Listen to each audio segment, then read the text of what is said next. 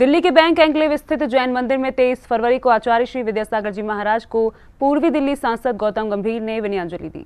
पूर्व क्रिकेटर गंभीर जी ने इस दौरान प्रभु की आराधना करते हुए अर्घ्य भी अर्पित किए। सेवा करी, इस देश को हर समाज से ऊपर रखा, इसलिए वो सच्चे राष्ट्रवादी थे मुझे पूरा विश्वास है कि यहाँ पर जो भी उनके दिखाए हुए रास्ते पे हम सब मिलकर इस देश को आगे बढ़ाएँगे इस देश को आगे लेके जाएँगे। आचार्य श्री विद्यासागर जी महाराज ने सभी समाजों के लिए प्रेरक कार्य किए और वो सच्चे राष्ट्रवादी थे। ये शब्द थे पूर्वी दिल्ली सांसद गौतम गंभीर के। दिल्ली के बैंक एंक्लेव स्थित जैन मंदिर में हुई विनयांजलि सभा में पूर्व क्रिकेटर गंभीर जी ने आचार्य श्री को विनयांजलि दी और कहा कि मुझे विश्वास है कि उनके दिखाए रास्ते पर आगे बढ़ हम इस देश को आगे लेकर जाएँगे। जैन समाज तो ऐसा समाज है मुझे पूरा विश्वास है कि हमेशा जैन समाज ने देश तो देश को ही आगे रखा है। विद्यासागर महाराज जी ने हमें दिखाया है हम उसी पर चल के एक ऐसा राष्ट्र बनाए जहाँ पर सब प्रेम से सच्चाई के साथ रह सके।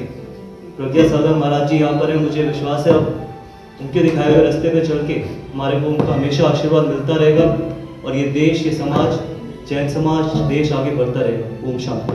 आचार्य श्री प्रज्ञासागर जी महाराज ससंग के मंगल सानिध्य में दिल्ली के बैंक एंक्लेव स्थित जैन मंदिर में आयोजित हुई इस सभा में कई गुरु भक्त उपस्थित रहे। इस अवसर पर गंभीर जी ने प्रभु की आराधना की।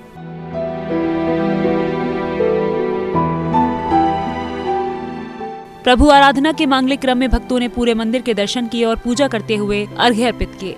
जैन फोकस के लिए दिल्ली से ब्यूरो रिपोर्ट।